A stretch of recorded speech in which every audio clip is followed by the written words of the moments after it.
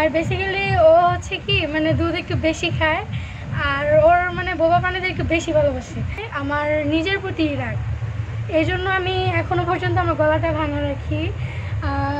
এতে আমি নিজে একটু শান্তি পাই। তো আমি চাইব না, আমার সন্তানদের এরকম কিছু হোক। ওরা যেটা চাবে, আমি চাবো তারা তারা যেন সেটাই করতে পারে ফুল সাপোর্ট করব দেখলে কি হয়, যেমন দাঁত থাকলে দাঁতের মর্ম বুঝে ওরকম। তো ভাই নাই তো কী হয়েছে আমরা দুই বোনই ভাই। প্রিয় দর্শক, ভাই বোনেরা, আসসালামু আলাইকুম রহমতুল্লাহি অবরাকাত দেশ ও দেশের বাইরে যারা আমাদের প্রতিবেদন দেখছেন, আপনাদেরকে জানাচ্ছি সুস্বাগতম। দর্শক, একটু দেরি হলো, জানাচ্ছি আপনাদেরকে ঈদ মোবারক। দর্শক, আমাদের পরিবারের সদস্য যারা আছেন, আমাদের সব সময় আমাদের এই চ্যানেলের প্রতিবেদনগুলো দেখে থাকেন এবং অনেক ধরনের কমেন্ট করে থাকেন, ভালো, মন্দ সব কিছু মিলিয়ে আপনাদের জানাচ্ছি সুস্বাস্থ্য কামনা করে আজকের প্রতিবেদনটি আমরা শুরু করতে যাচ্ছি। দর্শক আমরা এখন এই মুহূর্তে রয়েছি উত্তর খান রয়েছে খ্রিস্টানপাড়া রয়েছে মিনার খামার। আসলে মিনার খামারে এসে মিনার আর এক স্টুডেন্ট আসলে খামার সে কাজগুলো কীভাবে করে মিনা সেই কাজগুলো শিখতে এসেছেন রোজা। আমরা তার কাছ থেকে তার কি শিখতে এসেছেন কি হতে চান সেই বিষয় নিয়ে কথা বলি। রোজা আসসালামু আলাইকুম। কেমন আছেন আপনি? জি ভাইয়া ভালো আপনি কেমন আছেন? আলহামদুলিল্লাহ আমি ভালো আছি। আর রোজা আমরা আপনার কাছে একটা বিষয় জানি যে আসলে আপনি এই যে খামারে আসলেন তো মিনার কাছ থেকে আপনি কি কি শিখলেন? মিনাপুর গাছ থেকে কী কী শিখলাম? এই যে বোবা প্রাণীদের কীভাবে পালন করতে হয় কীভাবে তাদের কেয়ার করতে হয় তারপর হচ্ছে গিয়ে মানে তাকে কীভাবে খাওয়াতে হয় মানে কখন মানে কয়বেলা খাওয়াতে হয় আর কি এই বিষয়গুলো শিখছেন? তো আসলে এই বোবা প্রাণী আসলে দেখতে আপনার কাছে মানে শুধু বোবা প্রাণীকে ভালোবাসেন নাকি পশু পাখি? সেগুলো আপনার ভালোবাসার মানে অনেক কাছের লোক মনে করেন। জি ভাইয়া আমি বোবা প্রাণীদের খুব ভালোবাসি অ্যান্ড পশু পাখিদেরও খুব ভালোবাসি। তো পশু পাখিকেও ভালোবাসেন। তো আপনার কি স্বপ্ন? আসলে আমাদেরকে একটু বলবেন আপনারা কয় ভাই কয় বোন কি করেন আপনি? জি ভাইয়া আমি আমরা হচ্ছে চার বোন আর আমার স্বপ্ন হচ্ছে কি আমি বড় হয়ে ডাক্তার হব। আর ডাক্তার হওয়ার জন্য তো অবশ্যই প্রত্যেকদিন দুধ খেতে হবে। মানে ডাক্তার হতে গেলে প্রতিদিন দুধ খেতে হবে। কিন্তু পাশাপাশি যে আপনি এই যে গরু বোবা প্রাণীগুলো পালন করতেছে মিনার কাছ থেকে আপনি যে শিখতেছেন এটা আপনার কাছে কেমন লাগে? এটা আমার কাছে খুব ভালো লাগে। এটা কি মানে হলো এই প্রথম এসেছেন নাকি আপনার প্রতিদিনই আপনি আসেন এখানে? না প্রত্যেক দিনই আসে। আমি একবার হলেও আসি প্রত্যেকদিন আমরা এই বিষয়টা একটু মিনার কাছ থেকে জানি। আসলে মিনার কাছ থেকে জানি। দর্শক মিনা একটু আমাদেরকে একটু বলবেন যে আসলে আপনার স্টুডেন্ট কিনা জানি না আসলে কি হয় আপনার? আমি যেখানে সোশ্যাল ওয়ার্ক করি তো ওখানকার সভাপতি আমি তো আমারই আন্ডারে একটা শিশু মানে দর্শক আপনারা শুনলেন যে মিনার পাশে মিনা যেখানে হলো সোশ্যাল ওয়ার্কটা কাজটা করছেন পাশাপাশি সেই প্রতিষ্ঠানের তিনি সভাপতি এই উত্তরকানের। আর সেখানকার এক শিশু নাকি আরেক শিশু মানে এই মিনার কাছে হলো রোজা নাকি অনেকটা শিশু। আপনারা একটু বলেন যে আসলে এই শিশুটাকে কীভাবে দায়িত্বটা পালন করছেন আমরা একটু মিনার কাছ থেকে জানি। মিনা, আসলে তার ইচ্ছাটা কি? আসলে আমাদেরকে একটু বলবেন। তার ইচ্ছা হচ্ছে অন্যকে দেখে কিছু শেখা। যেমন সে আমাকে খুবই ফলো করে, শুধু সে না, আজকে সে একা এসেছে, কিন্তু ডেইলি আসে অনেক শিশু আছে। দেখতে, আমার সাথে কথা বলতে কিছু শেখার জন্য। আর বেসিক্যালি ও হচ্ছে কি মানে দুধ একটু বেশি খায়, আর ওর মানে বোবা প্রাণীদের একটু বেশি ভালোবাসে। তো আমি যেহেতু গরু পালন করি, তো ডেইলি আসে দেখার জন্য যে কীভাবে আমি পালন করি। তো আসে আয়সা দুধ টুধ নিয়ে যায়, আবার বিভিন্ন প্রশ্ন করে। এটা আমার খুবই ভালো লাগে যে জানার আগ্রহ আছে। যে মিনাপো এটা কেন হলো? ওইটা কেন হলো? এটা কেন খাওয়াইতেছো? ওইটা কেন খাওয়াইতেছো? তো এই উত্তরগুলো দিতেও আমার খুব ভালো লাগে। শুধু ও না আমার আন্ডারে যত শিশু আছে ফিফটি পার্সেন্ট শিশুই আসে আসে আমার সাথে কথা বলে বিভিন্ন ধরনের তথ্য যায় না যায় খুবই ভালো লাগে আমরা রোজার কাছে আরেকটা বিষয় জানি। রোজা আপনার পরিবারে কে কে আছে? আমার পরিবারে আমার মা আছে বাবা আছে আর আমরা চার বোন। আপনারা চার বোন। আপনি কয় নম্বরে আছেন? জি দুই নাম্বার। আপনি দুই নম্বরে। বড় বড় জনের পরেই আপনি আছেন। ভাই কি করে? ভাই নাই। ভাই নেই। আপনার? আমারও ভাই নেই। আমরা তো ভাই আছি। হ্যাঁ এটাই। যার নেই তার নাকি অনেক ভাই আছে। হ্যাঁ। তাহলে দর্শক আমরা আপনাদের কাছে একটা বিষয় জানি যে রোজা কোন ক্লাসে পড়ে কি করে? আমরা সেই বিষয়গুলো জানার চেষ্টা করি। রোজা আপনি কোন ক্লাসে পড়েন? আমি ক্লাস এইটে পড়ি। জীবনের স্বপ্নটা কি আপনার? জীবনের স্বপ্ন হচ্ছে গিয়ে আমার মানে জীবনের স্বপ্ন হচ্ছে আমি একদিন খামারি হতে চাই অ্যান্ড মানে বাইরের দিক দিয়ে বলতে গেলে আমি একজন ডাক্তারও হতে চাই। মানে মূল স্বপ্নটা আপনার ডাক্তার। আর আপনার ওস্তাদের যে কাজকর্ম দেখে আপনার মানে খামার হওয়ার স্বপ্নটা জাগছে।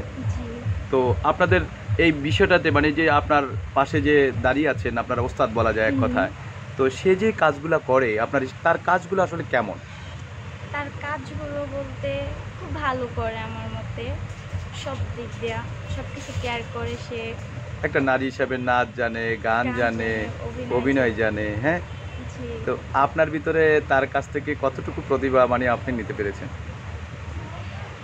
চেষ্টা করি হ্যাঁ, তার মতো হওয়ার। চেষ্টা করতেছি। চেষ্টা করতেছেন। আমাদেরকে একটু মিনা বলবেন যে আসলে রোজা চেষ্টা করতেছে আপনাকে দেখে দেখে শেখার চেষ্টা করছে। কিন্তু তারও ভাই নেই আপনারও ভাই নেই। আসলে ভাই থাকলে কি হয়? যার ভাই আছে সেই জানে ভাই থাকলে কি হয়। যেমন দাঁত থাকলে দাঁতের মর্ম বুঝে ওরকম। তো ভাই নাই তো কি হয়েছে আমরা দুই বোনই ভাই ওরাও চার বোনই ভাই। মানে ভাইও বোনও সবই ওরা। যদি একটা ভাই থাকতো? যদি একটা ভাই থাকে তাহলে এতটা কষ্ট করতে হইতো না। আর এতটা কষ্ট না করলে এত কিছু শিখতেও পারতাম না। যেহেতু ভাই নাই তো আমরাই ভাই আমরাই করতেছি সব কিছু আমরাই ভাই আমরাই সব কিছু আমরা আরেকটা বিষয় জানি যে আসলে গরু পালন করতে গিয়ে আপনার বলছেন যে না, আপনার অনেক স্টুডেন্ট আছে আপনাকে অনেক তথ্য অনেক কিছু জানতে চায় প্রশ্ন করে। রোজা যেমন আপনাকে একটার পর একটা প্রশ্ন করেই যায় করেই যায় এটা আপনার ভালো লাগে। কেন বিরক্ত হন না কেন? বিরক্ত হই না কারণ যেহেতু সোশ্যাল ওয়ার্ক করি তো সেইখানে সর্বফার্স্ট একটা প্রতিশ্রুতি থাকে যে মনে একটা মানে শান্তিময় ভাব থাকতে হবে। কেউ কারোর প্রতি এক বন্ধু বিরক্ত প্রকাশ করা যাবে না, কিছু কিছু ডেডিকেশন থাকে। তো সেই ডেডিকেশনটা আসছে সেহেতু মানে যেহেতু, তো সেই কারণে আমি সোশ্যাল ওয়ার্কটা করতে পারতেছি। আর যেহেতু ভালোভাবে করতে পারতেছি এই জন্যই এতগুলা শিশুর মনে আমি আসছি সবাই আমাকে খুবই ভালোবাসে। এই একটু অসুস্থ হলে সবাই দৌড়ে চলে আসে। যেমন গত বছর আমার ডেঙ্গু জ্বর হয়েছিল। আর ডেঙ্গু জ্বরে যে মহামারীটা হয়েছিল তখন। তো ডেঙ্গু জ্বর যখন আমি কর্মিটাল হসপিটালে ভর্তি ছিলাম। আমার ফিফটি পার্সেন্ট ছেলে মেয়ে খবর পেয়ে চলে গেছে দেখতে। হসপিটালে জায়গা নেই না, এত মানে এত শিশু গেছে দেখতে। তো এই জিনিসগুলো তখন খুবই ভালো লাগছে যে হ্যাঁ অবশ্যই আমি তাদের মনে আছি, এই জন্য একটু খবর পেয়ে তারা চলে আসছে। তো এই জন্য কোনো বিরক্ত প্রকাশ করি না। আসলে শিশুরা তাকেই ভালোবাসে, যেখান থেকে ভালোবাসা পাওয়া যায়, আদর পাওয়া যায়, স্নেহ ভালো পাওয়া যায়। দর্শক, একটা মা একটা জাতিকে, একটা সুসন্তান মানে হলো তৈরি করার ক্ষেত্রে মানে হলো একটা মাই কিন্তু পারে তার সন্তানকে সুশিক্ষিত করতে, তাকে ভালোবাসা দিয়ে তাকে সুন্দরভাবে তৈরি করতে, নতুন ভবিষ্যতের দিকে এগিয়ে যেতে পারে। কিন্তু মিনা বিয়ে না করে যে ধরনের সন্তানগুলো পালন করছে, যাদেরকে হলো শিক্ষা দিচ্ছে তাদের মানে ভালো মন্দর দেখাশোনাগুলো করছে, যে সোশ্যাল ওয়ার্কটা করতে গিয়ে তিনি কত বিষয়গুলো মানে হলো একটা, এক একটা শিশুর মনোভাব চিন্তাধারণা সব কিছু আলাদা আলাদা হয়। আসলে। এত বিষয়গুলোকে টেক কেয়ার করেন কি করে আপনি? খুবই ছোটোবেলা থেকে সোশ্যাল সোশ্যাল ওয়ার্ক করি। আর তখন আমি ক্লাস থ্রিতে পড়ি তখন জয়েন করছি। তো তখন এক কোণায় চুপ করে বসে থাকতাম। আর আমাদের একটা কমিটি ছিল পনেরো জনের। তো সেখানে কেউই কথা বলতে পারতো না। হয়তো একটা কোশ্চেন করা হলো যে শিশু কারা? কেউ বলতে পারতেছে না। তো সেক্ষেত্রে আমি তারা একটু অ্যান্সার দিলাম। আমার আজও মনে আছে, আমি যখন ফার্স্ট ঢুকছি, একটা প্রশ্ন করছি, শিশু কারা? আমি বলছিলাম কি, জন্মের পর আঠারো বছরের নিচে সবাই শিশু। তো তখন আমার একটা কথা বলছিল যে যখন কোনো কথা বলবা, খুবই স্ট্রেট ফরওয়ার্ড বলবা, কারণ কোনো ভয় ভীতি রেখা বলবা না। তো তখন আমি চিন্তা করলাম যে, না, উনি ঠিকই বলছে। তো একটু পরে বলছে, উনি বলে দিল যে জন্মের পর থেকে মানে আঠারো বছরের নিচে সকল মানব সন্তানই শিশু। তো একটু পর, পাঁচ মিনিট পর কোশ্চেনটা আবার করছে শিশু কারা? তো তখন আমি আবার হাত তুলছি, আর কেউ হাত তুলে নাই। হাত তোলা ঠিক ওইভাবে অ্যান্সারটা দিলাম। জন্মের পর আঠারো বছরের নিচে সকল মানব সন্তানই শিশু। তো তখন উনি আমাকে একটা বাহবা দিছে যে, না, জীবনে খুবই উন্নতি করতে পারবা। কারণ যার আত্মবিশ্বাস থাকে, সে এগিয়ে যেতে পারে। আমি তোমার একবার বকা দিছি, তারপর তুমি ভাঙা পড়ো নাই, আবার হাত তুলে অ্যান্সারটা দিছো। তো সেক্ষেত্রে তুমি খুবই আগায় যাবে। ওই যে একটা কথাটা বলছে, সেই কথাটা মাইন্ডে আমার ছিল এবং এরপর থেকে খুবই মানে মনোযোগ দিয়ে কাজ করতাম এবং বিভিন্ন জায়গায় যে আমি কাজ করছি। তো বিভিন্ন জায়গায় ছেলেমেয়েরা কীরকম, কার মনোভাব কীরকম, কোন বয়সে শিশুরা কীরকম, কী মনোভাব পছন্দ করে, তো সেই বিষয়গুলো আমি খুব তো সেই জন্য আর কি জানা। কারণ অন্যান্য জায়গায় আমি ট্রেনিং নিছি এই শিশু বিষয়ে। তো সেগুলোই আমি এখানে অ্যাপ্লাই করি এবং খুবই কার্যকর এবং সবার মনে আমি আসছি ইনশাল্লাহ সত্যিকারই যখন আপনি মা হবেন জি। আপনার সন্তানগুলোকে আপনি কি হিসাবে তৈরি করতে চান? আমার সন্তানদেরকে আমি আমি বলব তোমাদের মন যেটা চায় তোমরা সেটা করবা। কারণ জোর করে কখনো কিছু হবে না। যেমন আমার আম্মু জোর করে যে তুমি গান করবে না। এরপরও আমি খুবই স্ট্রাগল করে গানটা চালিয়ে নিছি। ইভেন এইটে এইটে থাকার পর আমার গানটা অফ করে দেয়। এইট পর্যন্ত আমি আমি কিন্তু খুবই ধৈর্য পরিবারের ফ্যামিলি কোনো কোচিং করি না, কিচ্ছু না। একটা নর্মাল একটা স্কুলে পড়ছি এবং প্রতিটা ক্লাসে আমি ফার্স্ট হয়েছি এইট পর্যন্ত। তো আমি এইট পর্যন্ত গান করছি, খুবই ভালোভাবে মনে, মনের আনন্দে গান করছি এবং পড়াশোনা করছি। তো এইটা যখন আমার গানটা অফ হয়ে যায় আর্থিক কারণে আমার আম্মু সাপোর্ট করে, ঠিক আছে বাট আর্থিক কারণে অফ হয়ে যায়। ওই যে মনে যে একটা কষ্ট লাগছে, এরপর থেকে পড়াশোনার প্রতি আমার একটু মানে রাগ, খুবই রাগ। শুধু পড়াশোনার প্রতি রাগ বললে হবে না হ্যাঁ পড়াশোনা করি আমি। পড়াশোনার প্রতি রাগ আছে, আমার নিজের প্রতি রাগ। এই জন্য আমি এখনও পর্যন্ত আমার গলাটা ভাঙা রাখি। এতে আমি নিজে একটু শান্তি পাই। তো আমি চাইব না, আমার সন্তানদের এরকম কিছু হোক। ওরা যেটা চাবে আমি চাবো তারা তারা যেন সেটাই করতে পারে ফুল সাপোর্ট করব। কেউ আছে না কি মনের মানুষ আমার ছিল বাট এখন নেই। ছিল? ছিল। আঠারো বছরের নিচে কি প্রেম করা যায়? হয়তো ভালো লাগা বাট প্রেম না। ভালো লাগা? ভালো লাগা। ভালো লাগা ভালোবাসা দর্শক জানি না আসলে কে পাবে এই মিনাকে। কারণ জীবনের শুরু লগ্ন থেকে ছোট ছোট শিশুদেরকে কীভাবে তাদের ভবিষ্যতে দিকে এগিয়ে নিয়ে যাবে, কার চিন্তা কি ধরনের সেই চিন্তাতে উপনীত করে তাদেরকে ভালো কাজের জন্যগুলোকে যেভাবে সাধুবাদ জানান এই মিনা। আসলে তার সন্তানের দিকে যে চিন্তা করে তিনি একটাই কথা বলছেন, আমার সন্তান যা চায় আমি তাই করতে দিব। আমি বাধা দিব না আমার মায়ের মতন। আসলে যদি সুশিক্ষিত করতে চান, সন্তান আগরে যেদিকেই যেতে চায়, তাকে সেভাবেই ডাইভার্ট করুন। সে যদি ইঞ্জিনিয়ার হতে চায়, তাকে ইঞ্জিনিয়ার করতে দিন। সে যদি ডাক্তার হতে চায়, তাকে ডাক্তার হতে দেন। সে যদি কৃষক হতে চায়, তাকে কৃষক যে যদি দর্শক, মিনা, আসলে ভবিষ্যতে কি হতে চায়? আসলে সব কথাগুলো কিন্তু শুনেছি দর্শক। আসলে মূল কথা কিন্তু বাকি। আমরা সেই বিষয়টা একটু জানার চেষ্টা করি। মিনা, আপনার ভবিষ্যতের প্ল্যান কি?